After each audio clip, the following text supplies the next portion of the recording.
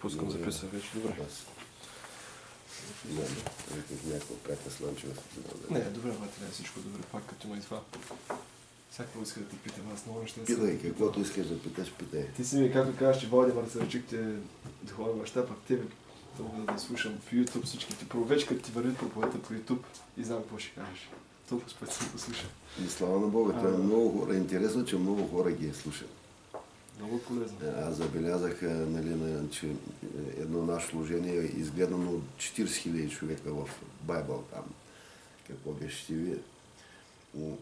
Това е радостно, защото хората, музика, нещо такова подобно на проповеди по-малко слушат. Нали. Рядко че хора се спират. Но самия факт, че са гледани на 200 хиляди компютъра, говори, че имат интерес към тия предавания. И много от хората пък по този начин не само, че получиха изцеление, но и спасение. Гледайки тия предавания, те идваха в нашите събрания, в домашни условия или ни звъняха по телефони и Царство Божие по този начин се разширява. В Сливенивата в дома. О, Също. 600 човека през отпуска, да правя сметка в жената там, детската ги е събрала, аз в кола се моля за другите нали, хора, защото не може веднъж да ги събереш. По 20 човека на ден идват. Трябва да те питам, имало ли е време, когато, защото ти като разкажеш твоите свидетелства и проповеди, ако мога така ги нарека или получение, не знам, имало ли време, в което така действието на Божия дух е бил по-интензивно преди, в сравнение с това, което става днешно време, като че ли е Да, да, да, 100%. 100% значи, ако погледнем служението на Христос, то започна много интензивно. Нали? Масово народа идваш и хиляди изсеряваха. В един момент той серяваше всичките, казва. В крайна сметка, когато той започна да им говори моралните принципи истини на небето, хората започнаха се отеглят от него. Защото пътта не желая това, което Христос говореше. Дори ученици го напускаха. Аз, за мен е кошмар, неразбираемо. Самия Бог при тях и те виждат нещо, което ние не можем да видим днешния ден. Например, аз не съм виждал човек да ходи по водата, макар че стават такива събития някъде по лицето на земята. В един... Но тогава всички го виждаха. Тогава виждаха, че той, той се преобрази. Апостолите го видяха в истинската му същност. И накрая се разбягаха като овци и се отказаха от него. Не случайно учениците, като го напускаха, казаха, трудно е това учение, Господи, кой може да го понесе? И а, в тия години, когато започна нашето служение, 90 години, 3 години и половина, изключително огромен интерес на тълпите, които идваха на 3 милиона. Аз не съм ги чел, аз казвам на 3 милиона, може да са повече, но това е огромна маса народ, нали? За една България, която е 7 7 милиона. Да. Над 3 милиона. Само над 70 хиляди, кой не, ма почти всички мои съграждани, той тогава града беше 120 хиляди, над 70 хиляди човека дойдоха в подножието на планината, където се моля. Народа проявяваше изключителен интерес. През нашата църква са минали над 10 000 човек. Сега на празници събираме максимум 1000 човек. Къде са другите 9 000, нали? Виж, една десета са останали. Другите ги няма някъде. И, и така, в тия последни години най-голямото ни събрание е било над 3000 човека. Пък тогава 3000 в началото това се смята, че никой не е дошъл. Къде си ги събира? Ми именно никой не е дошъл в тия 3000. На стадионите, на стадионите в стадион Черномор България 25 хиляди. Всичките стадиони бяха препълнени от народ. Даже ти- тия видеоленти, те мислят, че сега в откриването на телевизията пуснаха нали, а, част от кадрите. Ние, ние, ги имаме, божествено изцеление ги имаме. Нали, да виж, припълнен сте, даже, даже в Горна Оряховица. Мечкаря с мечката дойде, такова огромен интерес с кимендята там.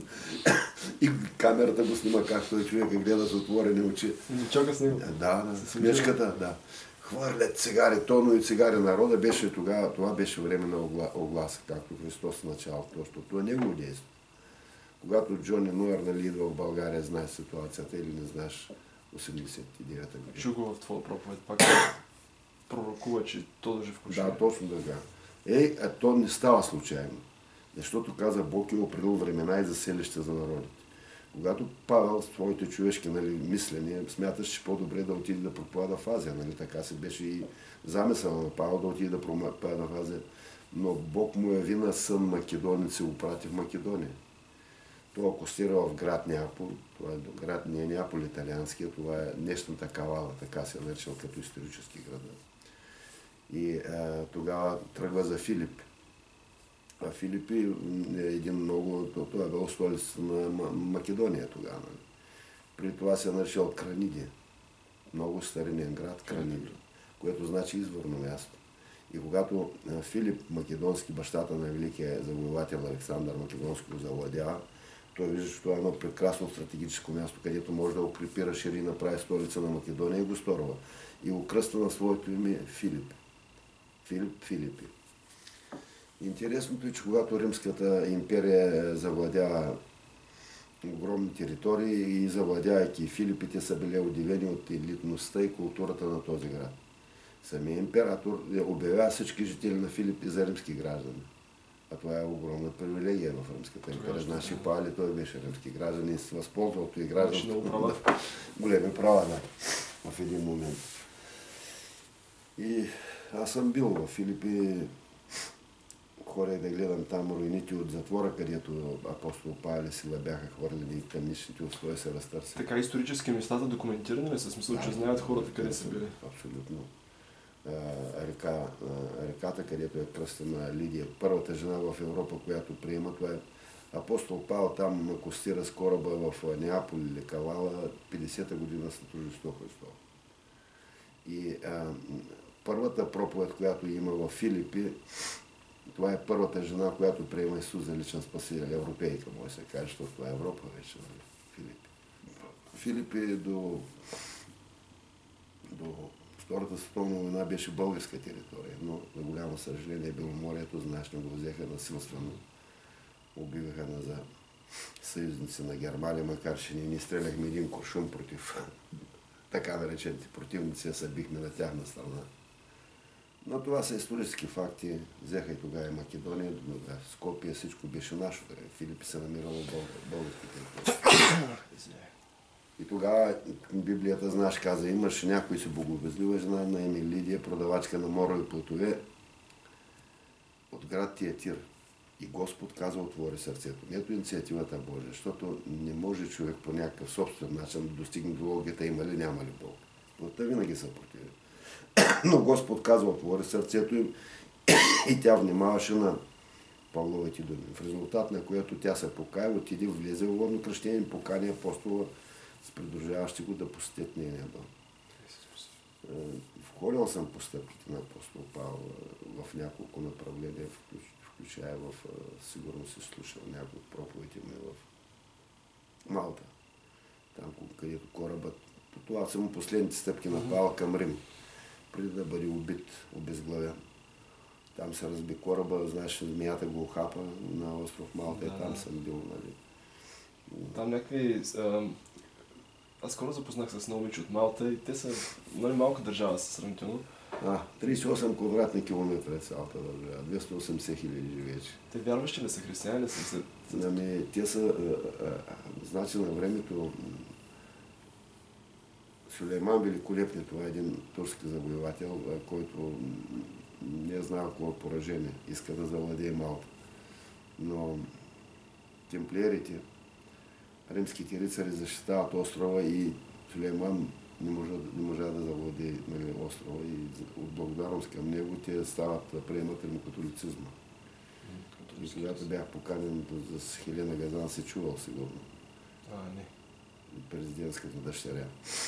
Ами, това става 2000 година. Аз, когато имам малко време, например тази година съм ходил три пъти на риболов. В България един път в Белгия. Това са възможности, които можах като свободно време да използвам. А ходя на риба. Като и не видя големи чарани на лица. Да, да. И да, така един ден такава свободен, викам, ще отида да хвана някой риба и след малко жената звъни и вика Илия Абе, обадиха се от София, вика, не трябва да летиш вика, в полунощ за Малта. И аз викам, как, кой се обади? Някоя жена вика. Викам, Малта, как Малта? Аз нямам виза, тогава беше визово, нали, 2000 година, ние не сме в Евросъюз нищо.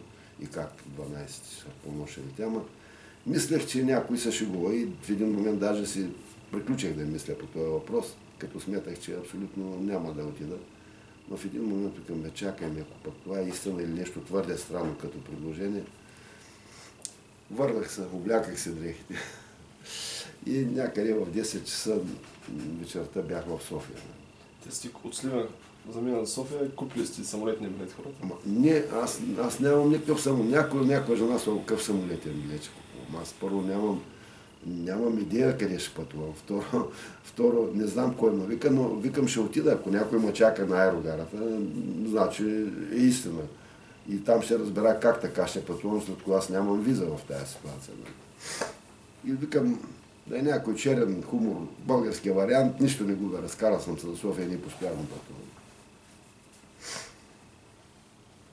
И тък му влязах в аерогарата и Илия Блъсков, това е един наш българин, който е жена ирландка и живее в Австралия. Той е правнук на големия български възроженец Илия Блъсков. Журналист пише много хубави книги. Една от най-силните му книги, като видение духовната борба за България. Мърстър също така много. Демоничния свят, описание невероятния на Бог му е дал. На един дъх я четеш като роман, много интересно. А, брат Илия, какво правиш на летище, му пита Илия Блъсков и той Илия. Ами викам, какво прави, аз не знам. Не? А, викам, в България се живее весело, викам, вие сте невероятни хора, как те не знаеш, весело се живее, не може да се скучава, викам, в България. Ами викам, като му разказах, той взе да се смее, вика, и наистина интересни хора сте, вика, тук в България. И докато говорим с него, защото никой не, не се приближава до мен, и аз си помислех, че наистина някой се и пошегувал с мен.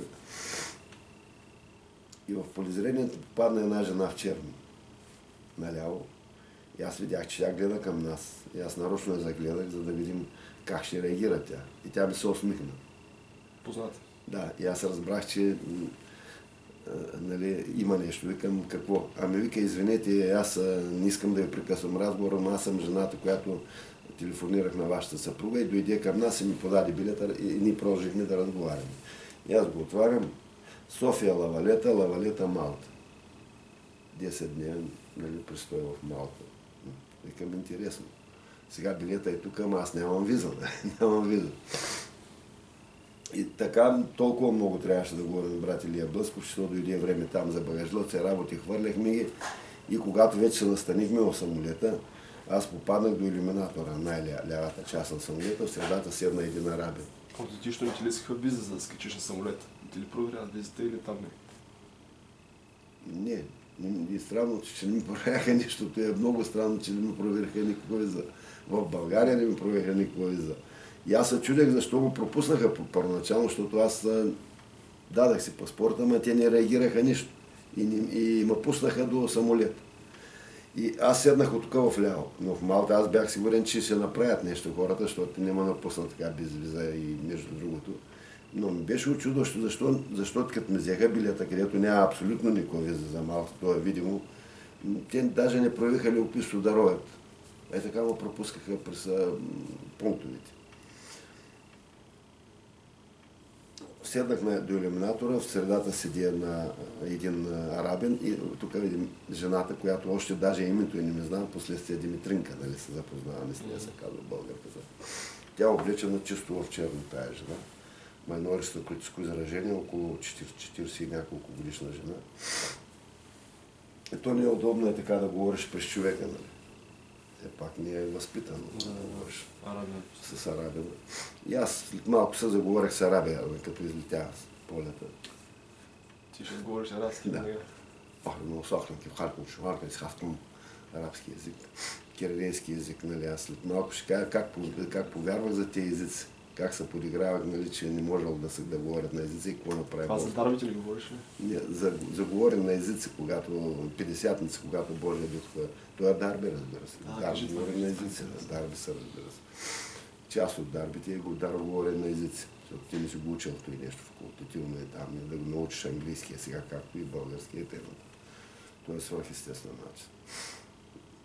Питам го това рамен, какво правиш в България? Нали, вашите вика, момичета са много хубави, ми загатва за кой е дошъл. Викам, ами, нали, Аллах ще отида, викам, Аллах те гледа, викам. Ти нали знаеш какво пише вашия Коран и той целият се засрами, нали? Викам, слушай какво, аз взех да му говоря за Исус Христос, за истината. За... И, и той му гледа с отворени очите. Най-странният полет, който може би повече няма да се повтори нещо подобно. Сега а, ние летим София Лавалета минаваме през Италия, Малта е тук така, тук е остров Сицилия, тук е Малта, тук вече е чак африканския бряг, далеч, нали, много далеч. Тук е в една линия Тунис. Е, абе, видяме се безкрайно този полет и, и никой ни не съобщи какво става. Дали имаше терористичен акт или нещо подобно, без да нововестяват. Приземиха на в Тунис. Какво прави в Тунис? Това е в Африка, не разбираш какво да правим в тази Африка. Нали? Безстранно пътуване. Първо пропуснаха без виза на български. Второ отиваме в Тунис.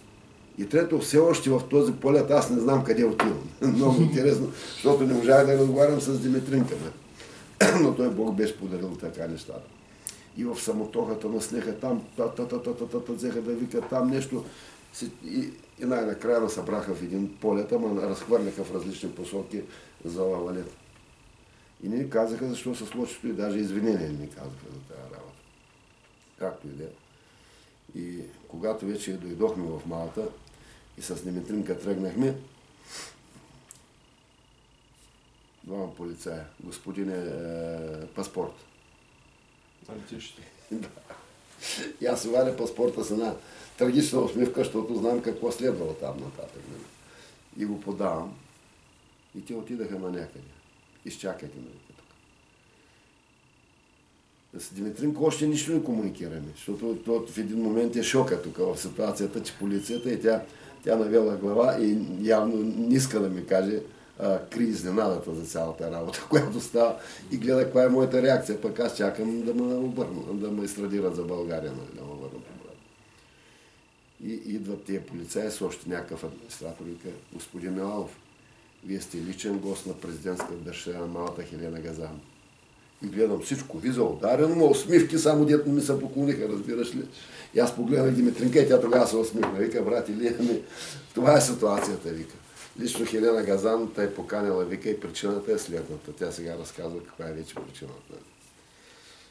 Димитринка е лекар в Либия, дълги години работи в Траблес, Триполи, столицата. И има 14 годишно момиченце и 11 годишен син. Мъжа е почива, и след известно време тя е сметнала, че вече е безмислено да седи в Либия, достатъчно е спечелила и безмислено да стои. Решава да се върне в България. Нали. Взима си и децата. Тогава полетите София, Триполи и обратно бяха забранени, заради вече оттегнати отношения България и Либия. И трябваше да лети Траблес Лавалета, Лавалета София. С прикачване на поле. Тук е Траблес, тук е Лавалета, София, тук е. И тя е вече на летището в Лавалета. Тя е невероятно красива. Ето, остави красотата ми аристократическо излъчване има. Тя е блясък някакъв. Тя бе много хубава жена. Един малтиец отива към нея, казва, говорите ли английски? Тя каза, да, говоря английски язик, говоря френски язик, арабски язик.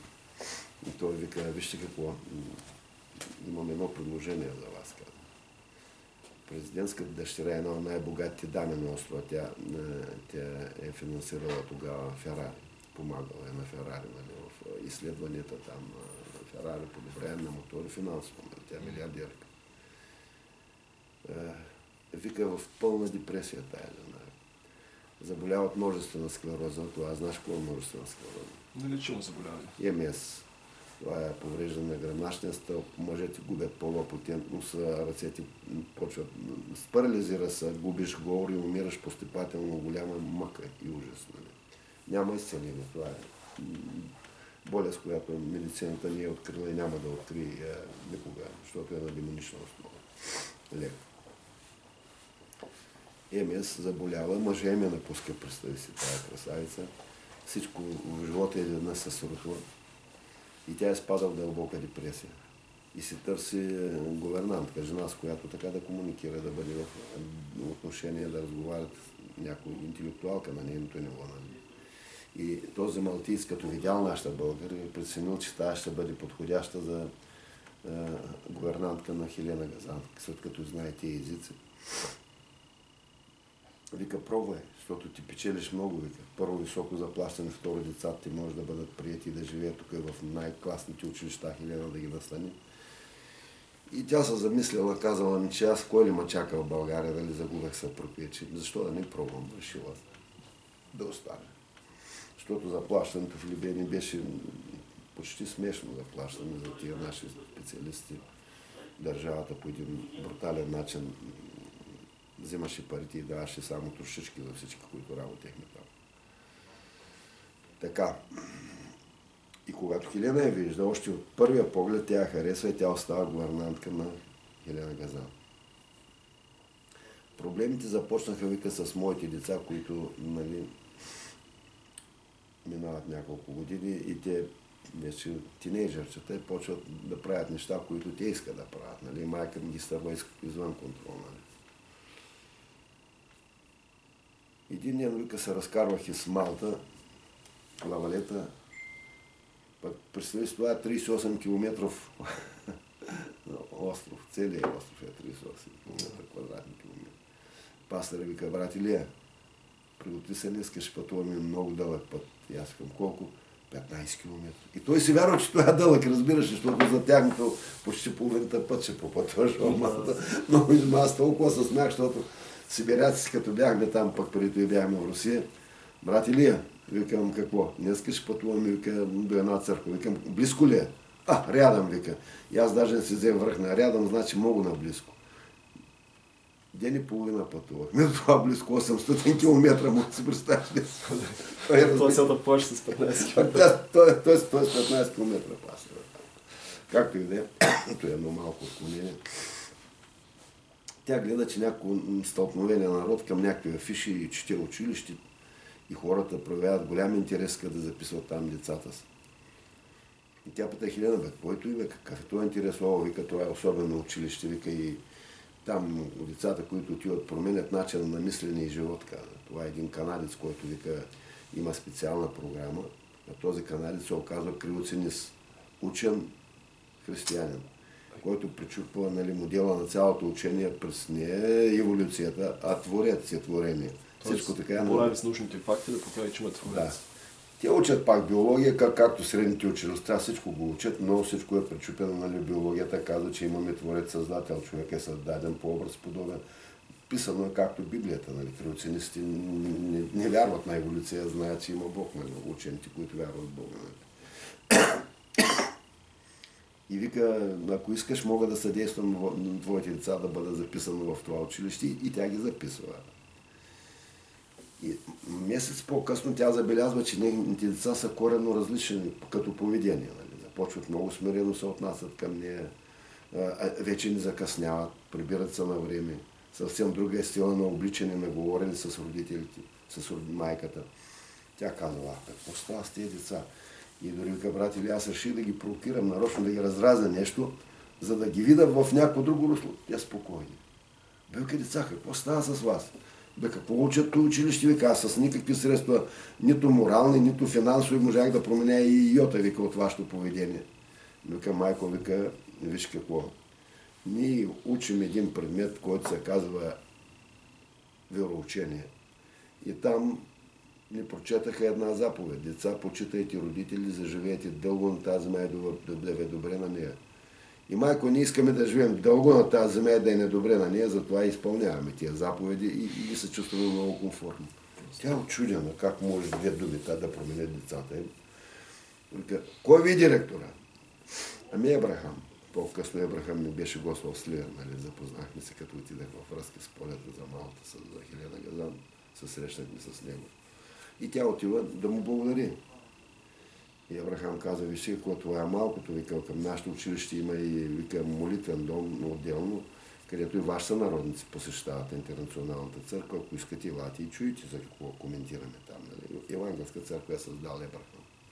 Той е завършил богословско образование, учен човек. И освен това, вика, има един васа народник, Илия Миланов, е, и, и, искам да подаря една негова книжка и подаря Божествено изцеление, една малка синя книжка, която излезе в 100 000 тираж от самото начало. А което е в интернет, нали? Това същата книжка. да, абсолютно, тя е малка. Прочисал един дък с 33 там свидетелства на, с адресите на хората, които са били изликувани. И тя взела, и, като почва да я чете, им се вижда интересно И всеки ден тя четела по две писма на, на, и превеждала на Хелена Гадан. А там има два случая за множествена склероза, изцеление. Сега малко отметка искам да ти кажа, защото аз не знаех което е множествена склероза. 1991 година на 17 февруари се случват тия събития в България. Един мой съгражданин, който заболява тази множествена склероза, 25-6 годишен, Васил се казва, баща на две деца. И представи си, по-опитен, носи труп целия на инвалидна количка, казва ли, виж какво ще кажа. Аз нито съм мъж, нито съм баща. Много се моля, вика, търси си мъж за тебе си и, и, и баща за децата. Аз съм убия, каза Васко. Лилито казва, Васко, защо съм убиваш? Аз, аз то обичам даже в това състояние, докато си жив съм дължна. А те не живеят дълго такива хора. Се грижа за тебе. Да, но Васко се наумил човека и тя, когато отива да прави покупки на супера, той самозапалва. Ма така лесно не се умира. Почва да пищи, съседи го загасят и го спасяват в ситуацията. И вярващи хора там, Едимран Тодор, той е много така голям боевак, отива да говори на Васко човек и за трагедията на този човек. Васко вика, не се самоубива, има, а ужаса е голям. Много повече мъки, отколкото ти си мислиш за тази множествена склероза. И ла горе на шато опиещата заведа, че става чудеса. И вика, най-накрая се отърва от тия досадници, защото е написа едно писмо свидетелство след това. И сега в момента е, води едно радио, нов живот, той е директор на радио. Който е човек, който, който беше болен, Васко. И да се отърва, вика от тия досадници. Хубаво е. Водете му при този измислям вас, брат или е Миланов, той е казал, измислям вас, брат или е Защото вчера като бяхме и та... Да, те са съседки с сестра Ванче, къде живеят и на България. От Сливен вика, един вика, учител по историята, да, бе, един лук там ги заблуждава горе и ние дойдохме да видим колко се лут, вика. И видяхме детето, което стана от инвалидната количка. И приехме Исус за личен спасител. Видяхме чудесата. Ето, кажи, няма и 200 метра жената. Тук Кожа, която е повярвала на Първо събрание. Да, тогава преди 23 години на планата е повярвала. Тя е по диагонала. Тя, тя беше поканила и приятелката си от някакъв друг щат, откъде беше докарала сина си, сприеха с нощ и, и майка си. Бяха тук. Както и да е, Васил го довежда. И то друго е държава, той е, той е висок човек, към 1,90 момче. И той е казал, Господи, държа го своите безпомощни ръце, но като се кача горе, аз тогава проповядах в една зала, наричаха я Бъбрика. На Шато Обия, той е конферентна зала на този Държивко, където е събирал Само този горения човек, то друго държава. То друго носи, защото той е труп и тази стълбица е така. Шато Опия е вит, с вити стълби тесни догоре. Тя е една огромна кула, много модерна работа. Построен Шато Опия беше верига от след като Тодор Живко се изе и го дадаха под найем за 10 години да бъде хотел, ресторант и ние го управлявахме там. И той го носи. И когато влезе, аз го забелязах, викам как е, той няма да изтърпи много, па за гърба ми имаше едно канапе, на което бяха насядали хора, но тя залата пряко сили 100 човека натъпкано, не може повече да голяма конферентна зала, малка, да. Помолях да освободят пейката и да сложат нали, трупа на този млад човек. Аз не знаех от кой е болен, дори не го питах, защото вече бях започнал проповедта и когато приключи молитвата за болни общата, аз чух вик и се обърнах. Васко се беше изправил. Трупа се беше изправил. И, и, и правеше такива конвулсии, така кръка му, двата му крака, той правеше като И не може да направи нито една крачка. Пак аз към, какво се радва този човек? То, за мен нищо не е станало. Аз, аз се радвам, когато видят напълно здрав човека. Нали. Да, ама той вика, след това и пред близо 20 000 мои съграждани на площада. Виждали ли сте, каза един конец, да го държиш в ръката, да го пусне с надеждата да задържи прав поне една секунда. Той се слича надолу конеца, нали? Това представлявах и аз преди молитвата, той така вика човек. Зато и се радва, защото отново, вика, след толкова години усетех твърдината на земята и аз не падах. Три дена по-късно гледаме един човек като светкаеца бяга по видите стълби на шато опие. Ама докато го видя, избяга догоре и се върна обратно. Аз можа да го позная, че той е същия този Васко. Някой иска състезава с мене, вика Васко. Пък аз съм атлет, на атлет, като голям как бяга, аз съм къде 40 една годишен тогава, той е на 26 години. Вика, брат Илия, ти не ме ли позна? Ами викам, не. Ами аз съм човека, който беше донесен като труп вчера, ме хората взеха се радват. Малко по-късно администраторката ми се обажда. Тя на един свещеник съпруга. Брат Илия вика, Абе, вика доктор Кръстева от неврологично, вика се разсипа, вика да, да, да върти телефони и да те търси. Ами викам, като звънне другия път, казах им, аз съм в офис. И звънва и, и аз дигам телефона. Ли е Миланов ли е на телефона? Така ми говори. И викам, да. Доктор Кръстева, какво искате? Какво искам ли? Аз ще предизвикам медиен скандал. Чакай, спокойно, вие сте невролог, говорите по-спокойно. Какво искате да кажете? Какъв медиен скандал ще предизвикате? Медиен скандал! Медиен! Ти пред мене ще потвърдиш, че моят пациент Васил вика, вика в пълно здраве и може да върви. Ами викам абсолютно здраве, даже предложи, че състезава, викам с някой от нас, но аз му отказах.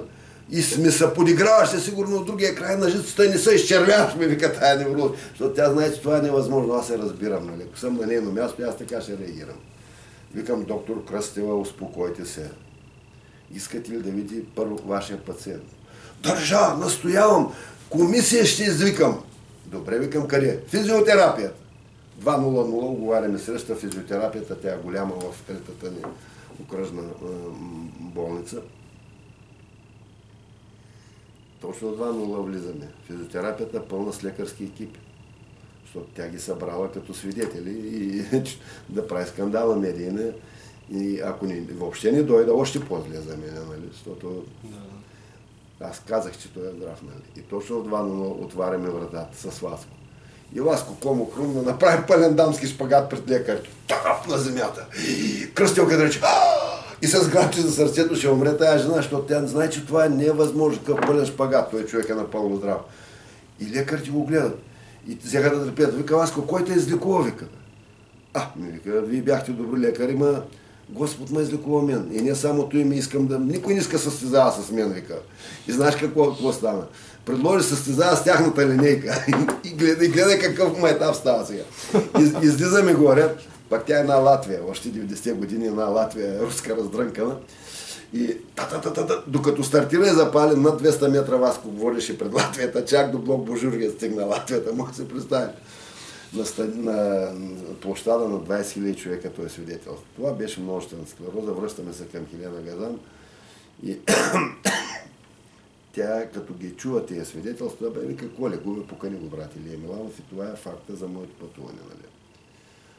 Но както казахме, те са католици и в този ден, когато аз пристигнах, те имат причастие. Нали, взимат. И пред падрето свещеника, който обслужва, тя трябва да се изповяда преди да вземе нали, причастието. Православните го наричат комка, ние го наричаме Господня вечеря. Нали.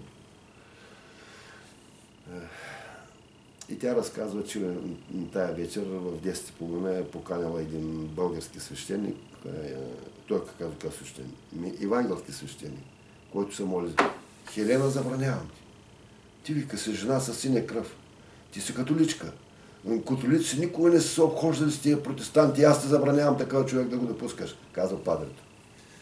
И Хелена казва, Димитринки, съжалявам много, но брат Илия не мога да го приема.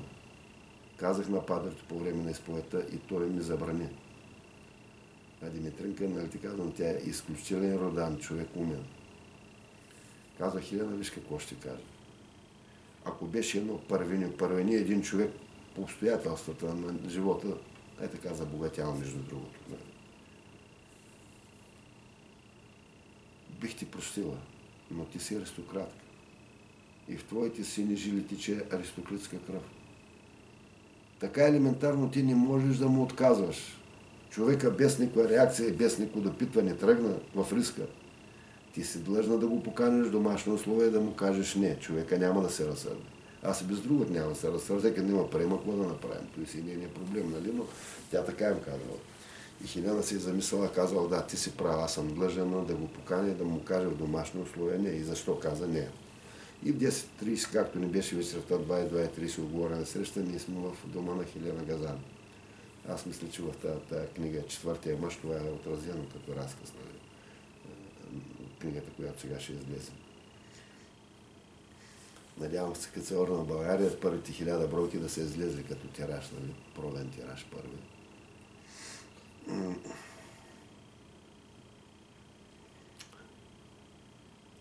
22.30 дискретно бодигардовите се оттеглят, тя застава в един огромен хол в компанията на пет жени.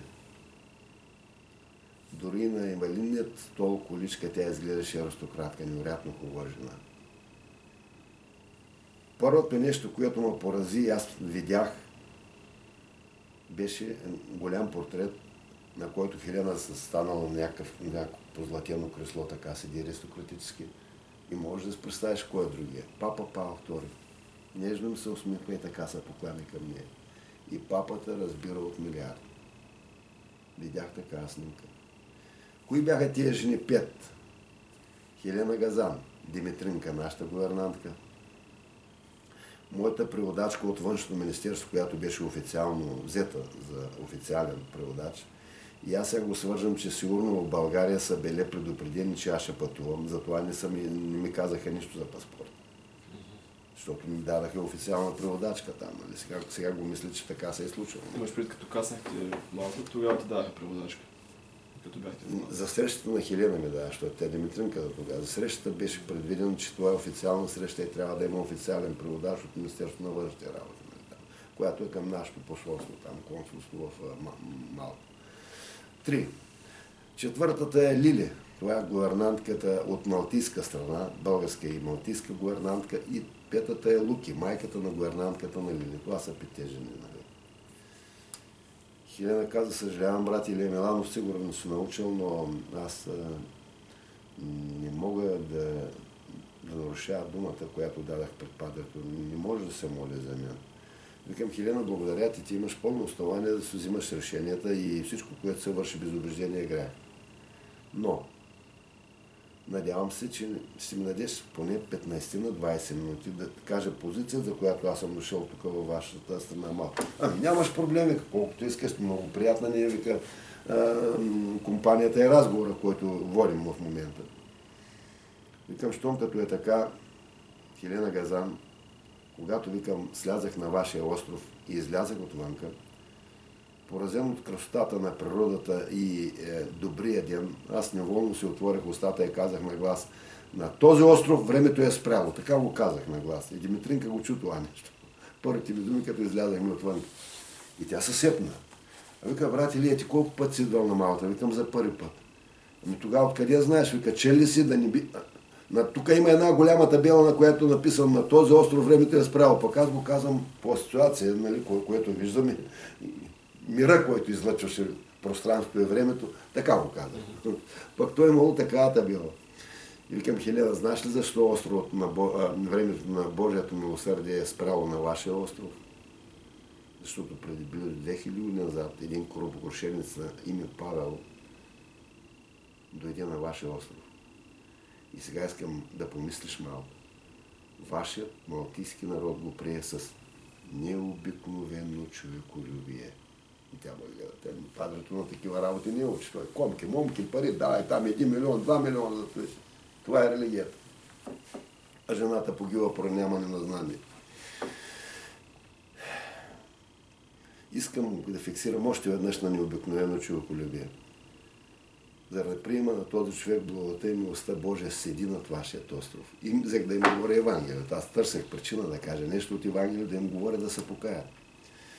И а, не бяха минали 15 минути и петте жени, защото тя Димитринка не е вярваща. Приеха Исус за личен спасител. И гледа а, абе, защо така ми стана леко на душата, ма една невероятна финна усмивка и щастие. Ме викам цял томно и към грехове ги за Господ и хвърлих морето на Божията забрала тебе. Как няма да стане леко? как се ходи с този тон, приведено до земята. Тя ме гледа така, нали. А викам, Хелена, Викам, нека да се моля, викам и за твоите. Не, брати ли, аз ти казах, не, обещал съм. Но Лилито, за това, Лилито е за това довела майка си, вика. Майка им никой не е обещала, и тя католичка. Ама не е ставало повод и тя е сляпа от дълги години. Дай, че вика, моли се за нея. Тя не е напълно сляпа. Напълно сляпа от, от казва, от 20 години, отдавна, колко са годините, но тя е много отдавна сляпа, 100% сляпа. И аз се помолях за нея, но нищо не стана. Аз не казвам, молех се за 3 милиона, хоп и всичкото стана. Не така, нищо не стана. Нали? И отидах до туалетната след малко и се връщам и гледам някакъв невероятен диалог се води между Хелена Газан и Лукин, но аз съм още отдалечен от тях и пък и да съм близко, аз не разбирам малтийски, те говорят на малтийски. И гледам, че всички ти така са някак си развълнувани и слушат този диалог. И аз викам на моята преводачка, какво става, тя съсепна. Абе, какво става? Лукито твърди, че е прогледнала. И тя взе да ми провежда. И, а пък Хелена вика, ама Луки, как така се прогледнала? Нали не се шегуваш? Абе, вика Хелена, как да се шегувам? Вика, може ли да се шегувам така работа? И тя, и я тогава, вика, преди да помисля, че съм побъркала или сънувам, вика, я виж какъв ми е цвета на лака. И ми поднасяте едно. А, вика, какъв син но от цвета на светлината изглежда електрико-зеленикъв. Мале, точно така изглежда, разбираш ли? И Хелена се разтрепера, защото вижда, че тя не го, не го имитира, да не го измисля. Вика, а много се моля, чакай сега, последен изпит. Я в дълбочината хола какво виждаш? Два златни свещника, между които сложила седем статуетки. Аз не мога да ги различа, тя се вижда от края на хола. Тя жената проблемна. Шок ги обхвана тия хора. Викам Хелена, нека да се помоля за тебе. Чисто и просто ти си дала думно на падърто, но виждаш, че Божиите дела не са като човешките обещания. Проклет да е този, който гледа на човека. Както виждаш, аз не представям себе си или някакво учение. Христос показва милост на вас. И сигурно иска да покаже и на тебе и тя. Моли се, каза. Свърши молитвата и тя стана от има линта колишка. Отиде, ета, както има бар плод в, нали, в дълбочината. Пак се върна. А пък Димитринка хукна към телефона и звъни на, на дъщеря си. Дъще, дъще, Хилена е сирена. Лаконичен отговор от другия крайен телефон. Майко загуби работата си. Малката практично им каза, че е загубила работата си. Тя наистина я загуби, сега живеят в Австралия. И така и, е, обявиха 7-дневни празници на е, острова. И е, един ден се наложи да говоря 36 часа в Малта без прекъсване. Така, без прекъсване твърде много казано. Имаше кафе, паузи, малки почивки. Залите се изпразваха, други хора идваха, преводачи се сменяха и така нататък. Но това беше едно невероятно време в Малта. 10-дневния престой в Малта. И това е Бог, който няма как. Е, хората трябва да си луд, за да си помислиш, това са случайни неща. Когато се върна в България, в Вестник Турт излезе голяма стати. Бачкиро са наснели журналистите. Евангелски свещеник и сериал президентска дъщеря, нали, с моята снимка във Вестник Турт на първа страна. А чак се чува в България? А? Това се чува в България? И то в цял свят се разнесе. То как няма да, да, такова, да, да се разнесе. И в, те дойдоха в Бачо като бях в София и написаха тази статия Евангелски свещеник и стеря пък. Аз не съм е стерил, но тези журналисти не могат да го разберат това нещо. И пишат Евангелски свещеник и стеря президентска дъщеря. Имаше много за и против. Писания е, срещу Ванга, големите изблъсъци, когато. Това да питам, я ми разкажа за това. За Ванга. За Ванга, за, дя... за тия неща, които са много, много хора не ги вярват и аз съм малко скептичен, макар че пък има и духовен свят за демони. Ванга добра или лоша беше? Ами, да, значи Ванга е един феномен, нали? Защото го знае цял свят. В Русия най-тиражираните книги сега са на Ванга. Милионни изда... издания на Ванга издава след смъртта им.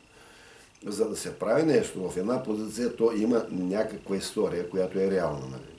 а не е измислена. Ванга беше феномен, която притежаваше качества, които малко хора притежават. Нали? И затова си е и Ванга в крайна сметка. 1991 година, чакай да си взема само Библията за малко, за секунда, буквално спри, ако искаш. Имаш въпросът.